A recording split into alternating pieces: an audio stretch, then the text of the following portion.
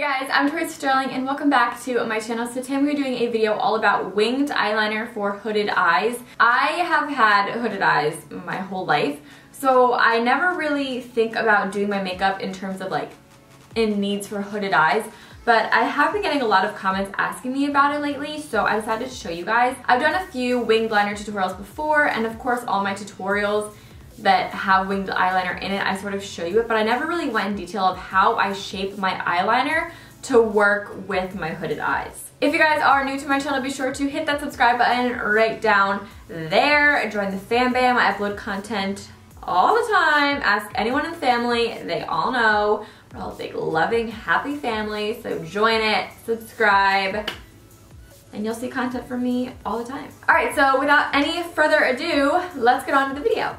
So for this look, I'm going to be using two different eyeliners. So the first one that I'm going to be using is the Tarte Tarteist Gel Liner, and then I use the NYX Vinyl Liquid Liner.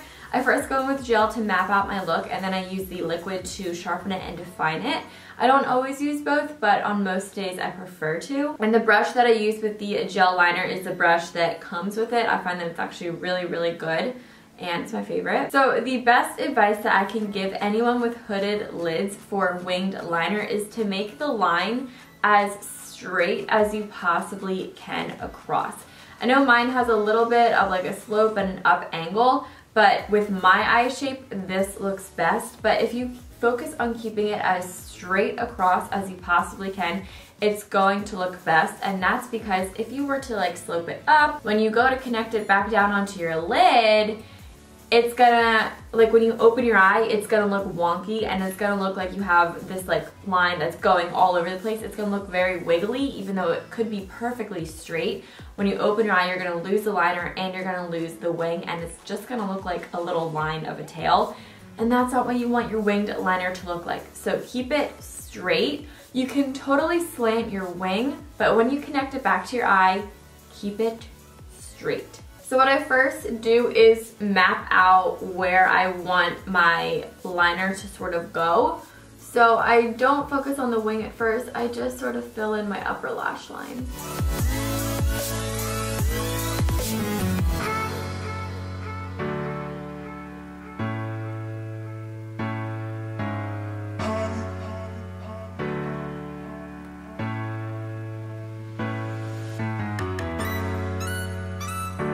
So when I open my eye, you guys can tell that the liner kind of disappears. So I also recommend to keep this kind of on the thinner side. I like to have mine like a good thickness where you can see it, but also not too thick. And now I start mapping out the shape of my wing, and this is going to be different for every eye shape. A good guideline is to take a makeup brush and to line it up from your nose to your eyebrow. So I just start with small strokes, flicking my brush outwards then I connect my line back onto my lash line using small strokes. And if you guys can see here, I kind of overline it a little bit and this is just so that I can create a straight line back onto my lash line. And then I slowly go in and fill it in with the remaining liner that's on my brush. So once I have the basic shape of the wing down, it looks a little blunt in my opinion. Um, I always like to go in and just kind of elongate it a little bit, make it a little more wispy. So that's when I go in with the liquid liner. Then with the liquid liner, I go back in and critique everything and elongate my wing by flicking it outwards. Um, this is going to smooth out my black lines and kind of, I don't know, just make them a little bit more blended together.